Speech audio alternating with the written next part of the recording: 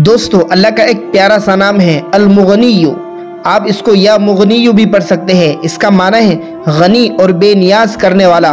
दोस्तों, इस वजीफ़े को करने के कुछ ख़ास तरीके हैं। एक ख़ास तरीके से इस वजीफ़े को पढ़ना है, एक ख़ास वक्त के अंदर। अल्लाह सुबहान व ताली ख़ास नियामतें आपको अता फरमाएगा।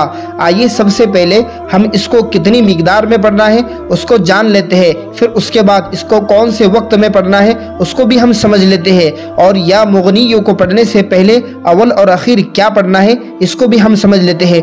दोस्तों, जो शख्स इस प्रॉब्लम में बहुत ज़्यादा फंसा हुआ है कि उसके ऊपर कर्ज हो गया गया पैसों के एतबार से बहुत ज़्यादा परेशान है, कहीं से रोज़ी नहीं मिलती और पैसों के एतबार से बहुत ज़्यादा अपने आप को परेशानियों में और मुश्किल में वो घिरा हुआ समझता है। तो ऐसे शख्स को चाहिए कि फजर या इशा की नमाज़ के बाद, फजर या इशा की नमाज़ के बाद दिन में सिर्फ़ एक मरतबा, अव्वल और आखिर ग्यारह ग्यारह मरतबा दरुशरीफ पढ़कर, या मुगनी यू या मुगनी यू आपको 1100 मरतबा पढ़ना है।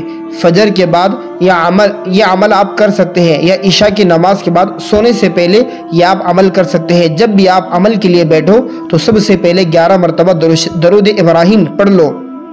उसके बाद 1100 मरतबा या मुगनी यू, या मुगनी यू, या मुगनी यू पढ़ो। उसके बाद फिर 11 मरतबा दरुद शरीफ पढ़ लो। ये अमल आप ईशा या फजर की नमाज़ के बाद कर ले और उसके बाद आपको एक मरतबा सुर मुजम्मिल की तिलावत करनी है और अल्लाह सुबहान वाली से दुआ करनी है।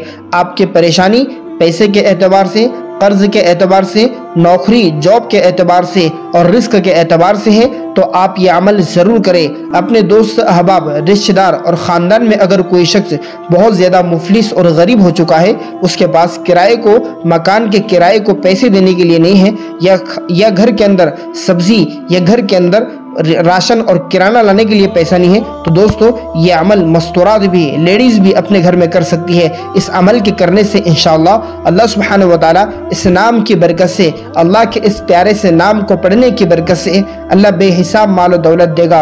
अल्लाह आपको इतना गनी कर देगा कि आपको कभी किसी के सामने हाथ फैलाने की ज़रूरत न पड़ेगी। दोस्तों, अल्लाह के नाम की बरकत की वजह से अल्लाह आपको अता फरमाएगा।